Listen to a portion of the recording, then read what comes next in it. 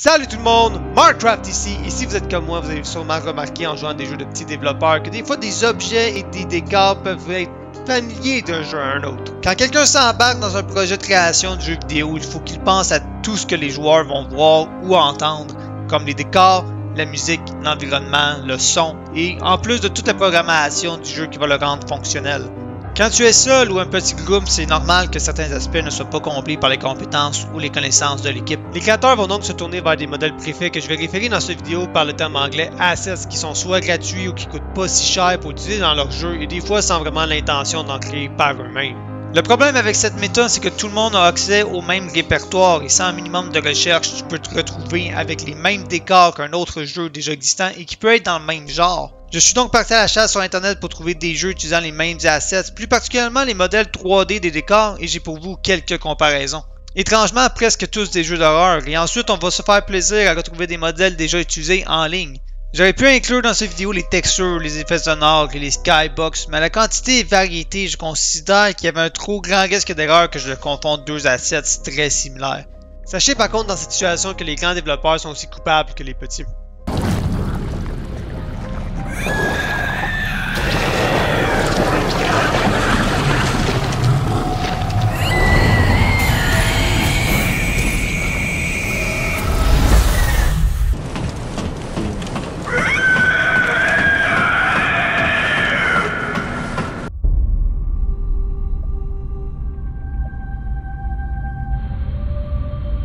Commençons par les jeux qui m'ont motivé à faire cette vidéo. Ghost Exile est un jeu d'investigation du paranormal où tu te promènes dans l'obscurité des maisons à la recherche de preuves d'une présence de fantômes.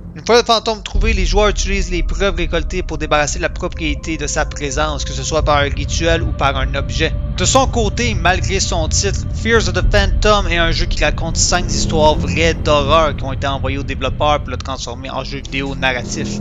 Pour le moment, seulement deux histoires sont disponibles et les deux ont une thématique très similaire où la personne, étant le joueur, se fait potentiellement attaquer ou attaquer par un inconnu. Les deux jeux utilisent le même modèle de la maison, une maison à deux étages. La plus grande variation à l'intérieur de la maison est que la cuisine et le salon ont été inversés dans leurs pièces.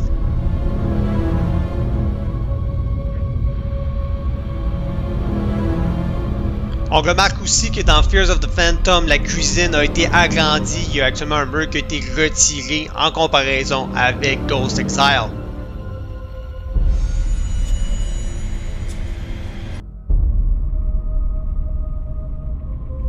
Et sans que je vous le dise, je vous mets au défi de me dire quel deuxième étage est associé à quel jeu.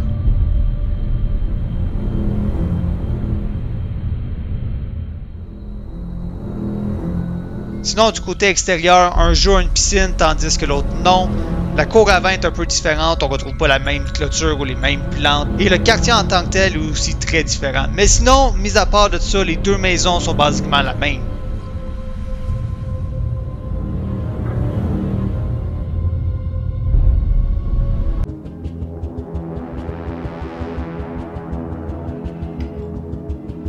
Contrairement aux autres jeux de la liste, je ne suis pas entièrement certain que les développeurs de Loop 86 ont utilisé les mêmes assets trouvés dans PT de Silent Hill, mais les ressemblances étaient trop nombreuses pour ne pas les inclure dans cette vidéo.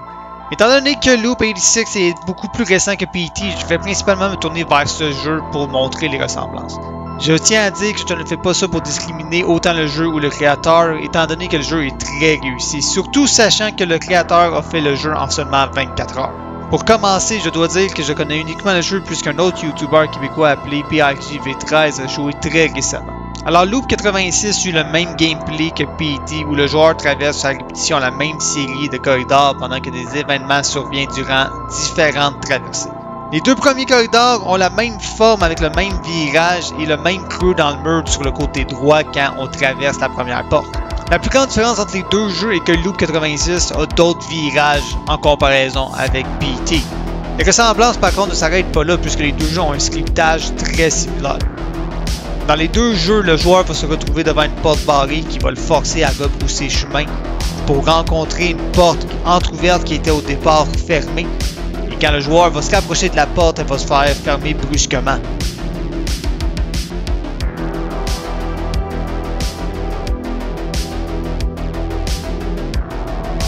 Dans un autre passage, on va arriver devant la même porte qui va déjà être entrouverte où est-ce que le joueur va pouvoir rentrer dans la pièce et trouver une flashlight.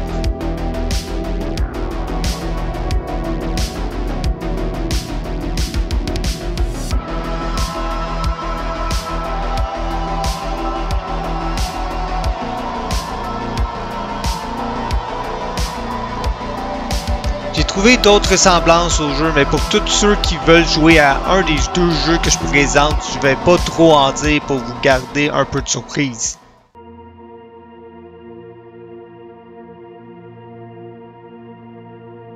Pour faire exception à la tendance du reste du vidéo, Electrician Simulator n'est pas un jeu d'horreur et il est le seul jeu que je compare qui n'en est pas un. Comme le titre l'indique, le but du vidéo est de réparer ou construire des appareils et installations électriques ou électroniques. Mes connaissances sur le modèle des maisons qu'on y retrouve sont assez limitées, mais notre comparaison commence dans les premières secondes après avoir démarré le jeu.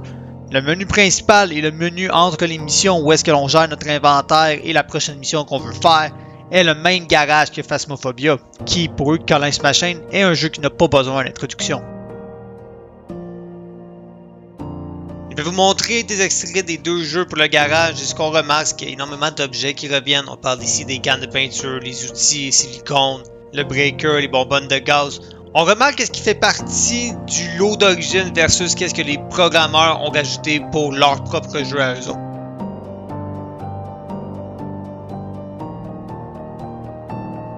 On remarque aussi que les portes ne peuvent pas être interagées dans les deux jeux, ce qui me prouve que derrière, il n'y a aucun autre modèle 3D. Ça termine avec les portes. Et encore une fois, les seules différences visibles sont dans les emplacements des objets, ainsi que le skybox et le quartier visible par les fenêtres.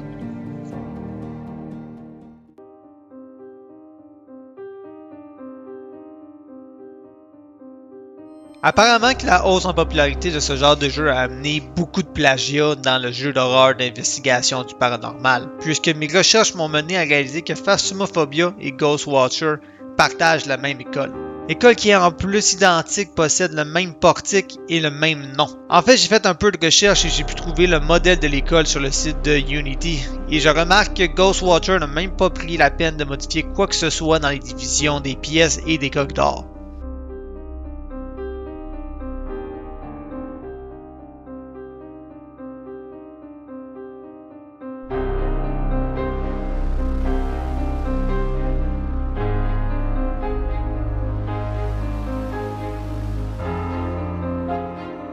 Aussi bon et différent que le gameplay peut être dans Ghostwatcher, il n'y a pour moi aucune raison d'inclure le même modèle d'école qu'un autre jeu sans faire aucune modification pour qu'il au moins paraisse différent.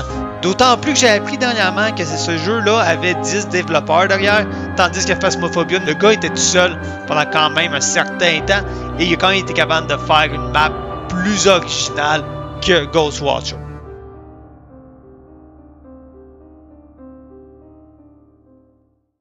me suis amusé de mon côté pour voir à quel point c'était facile de trouver des assets de jeux existants. Puis personnellement, juste en allant sur le site de Unity, j'en ai trouvé vraiment plus que qu'est-ce que j'espérais. Pour commencer, après 30 secondes de recherche sur Google, j'ai pu trouver un dossier intitulé Phasmophobia qui m'amène directement sur le site d'Unity. Ce dossier-là inclut pas toutes les choses qu'on retrouve dans le jeu, mais il y en a énormément que l'on retrouve encore ou qu'on a retrouvé déjà à un certain point, comme les anciens looks des objets avant que les créateurs s'en fassent les leurs. Il y a même un 16 en 1 où est-ce que c'est 16 objets qu'on peut utiliser pour un jeu de paranormal où qu'on retrouve les anciens objets que Phasmophobia utilisait comme le livre, l'ancienne Spirit Box. Qu'est-ce qui m'intrigue, c'est que c'est pas tous les objets qui ont été utilisés. Il y a même une boîte jaune qui est censée être un détecteur de contamination nucléaire selon la description du lot, qui semble être le même appareil qu'on retrouve dans le jeu Ghost Hunting Corp. On retrouve même le bon vieux garage avec les objets qu'on a pu voir dans les deux extraits plus tôt dans la vidéo, l'école secondaire, et même les modèles des fantômes de base qu'on retrouve dans le jeu depuis presque le début. Et ce que j'aime avec les fantômes, c'est que d'après la description, ces modèles-là sont censés être faits pour être des zombies. Et tous les modèles ont des animations pour se déplacer, attaquer, prendre des dégâts et même mourir. Ce qui veut dire qu'à quelque part, derrière le gameplay, dans le code du jeu, ben les fantômes peuvent techniquement mourir. Sauf que dans le jeu, il n'y a pas de possibilité que ça arrive. Alors voici un close-up de tous les modèles des fantômes qu'on trouve encore dans le jeu.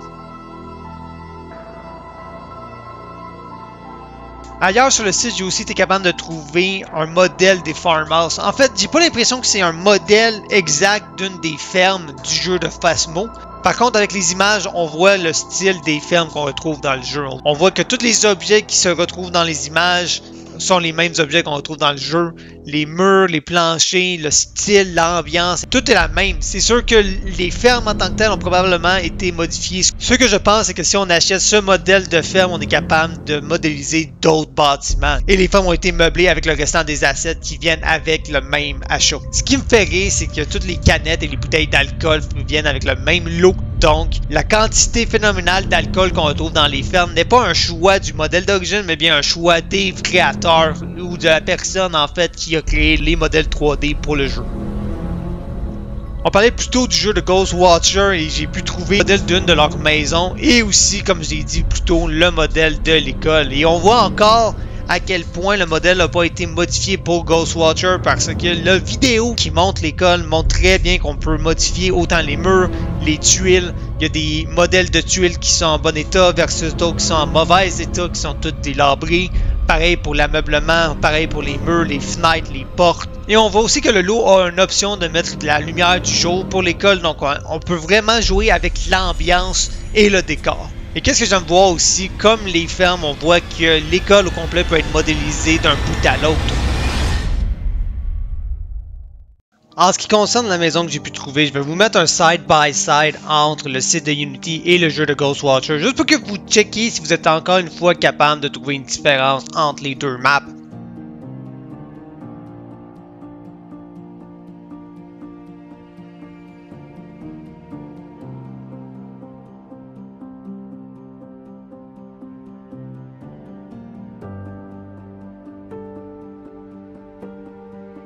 J'ai aussi trouvé un modèle 3D d'une base spatiale qui me fait vraiment penser au jeu de Planet Crafter qui est un jeu où est-ce que tu te construis une base sur une planète puis tu essaies de la modifier. Je ne sais pas exactement si c'est les mêmes modèles, si les créateurs ont vraiment utilisé ce bundle-là pour le faire. Par contre, les deux utilisent une base faite avec juste des sections en carré que tu attaches une après l'autre pour te faire des bases en forme de corridor ou quand tu les fusionnes ensemble, tu peux te faire des grands espaces. J'ai vraiment de la misère à croire que même si ce lot n'a pas été choisi pour le jeu, qu'il n'y a pas eu une certaine inspiration avec ce type d'idée.